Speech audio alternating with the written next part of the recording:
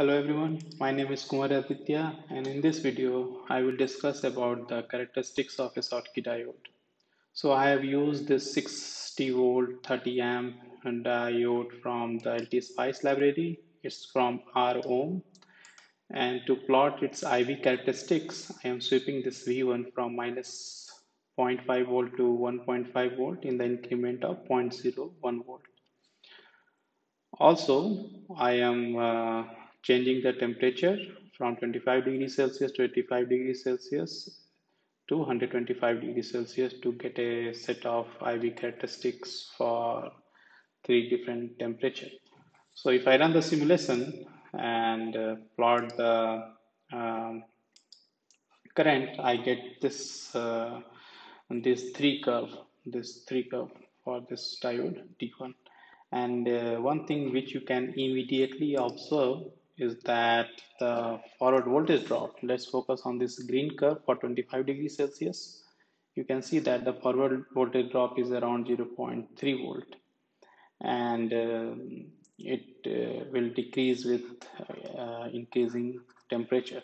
So uh, for Schottky diode, the on average forward voltage drop is usually 0.3 volt uh, which is very low compared to the bipolar devices. In PN junction diode, the forward voltage drop on average is 0.7 to 0.8 volt.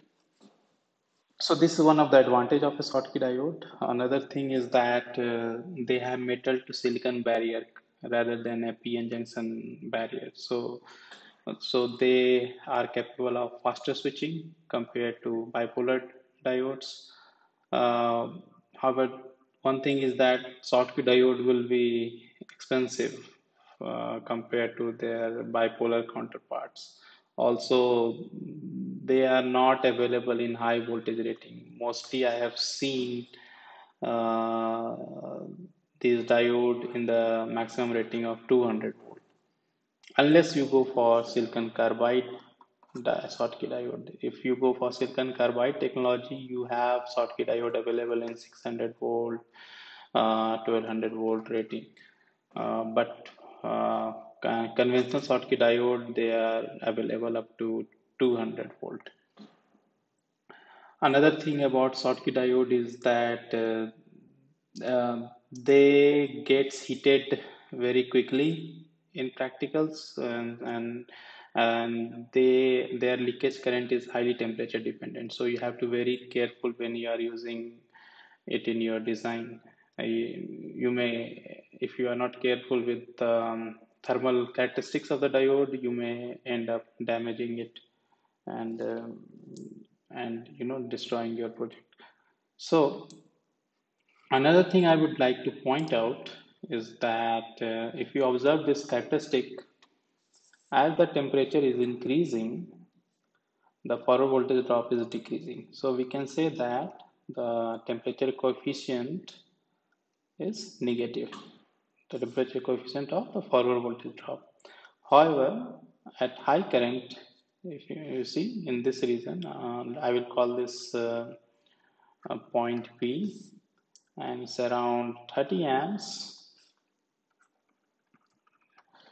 So above 30 amps, which is also the current rating of this device, your temperature coefficient is becoming positive, right? becoming positive. However, obviously we will never use any device above its uh, uh, you have its uh, rating, right? So it's fair to say that temperature coefficient of a Schottky diode uh, is negative.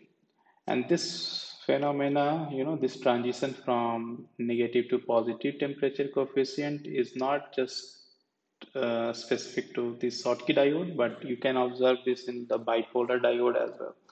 And to show you uh, let me just uh, plot the same IV characteristics for uh, bipolar uh, diode. So the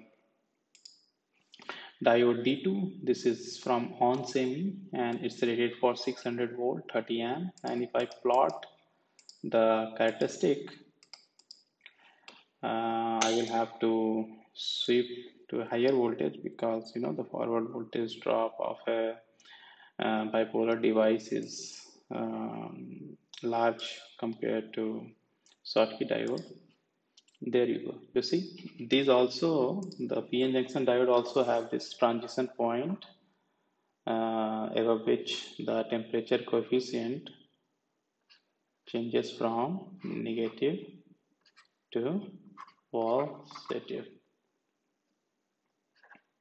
negative positive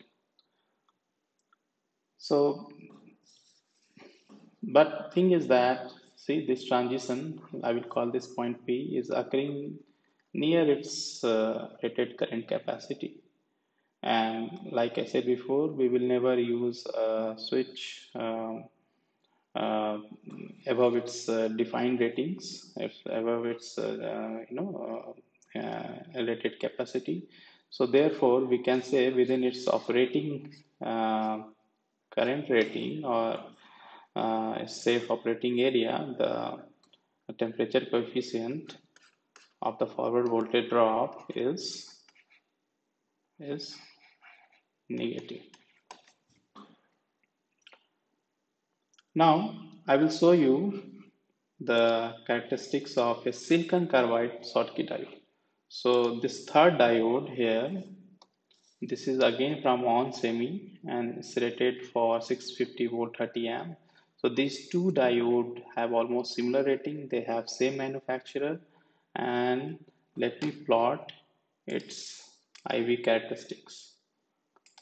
The third plot there you go now this diode is also rated for 30 amp but if you see this transition interval the point P for this uh, silicon carbide diode occurs at around 12 amp so within its operating current range the temperature coefficient is changing from negative to you know positive. So one has to be very careful when using silicon carbide uh, Schottky diode for their design because if you are using this diode you may end up uh, you may risk the thermal runaway if you are not careful with this property whereas for uh, the PN junction and the Schottky diode um, uh, it's very fair to say that temperature coefficient is negative within its uh,